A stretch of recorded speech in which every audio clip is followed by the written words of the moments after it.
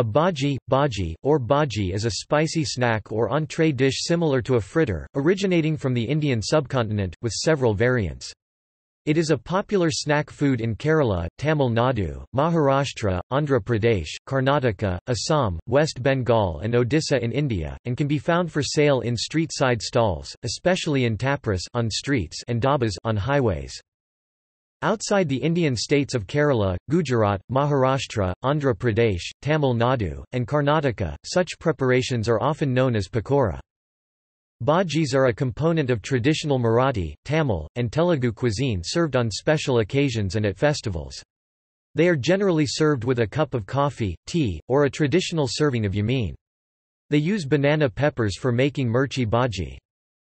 Its variations include the chili bhaji and the bread bhaji or bread pakoda. Another version is called bonda in South India and vada in Maharashtra. Bonda has potato or mixed vegetable filling. Onion bhajis are often eaten as a starter in Indian restaurants before the main course, along with papadums and other Indian snacks. They may be served with a side of salad and slice of lemon, or with mango chutney, and are traditionally made to a mild taste. The Guinness World Record for the largest onion bhaji is held by one weighing 102.2 kilograms (225 pounds 4. 9 ounces) made in Bradford in 2011.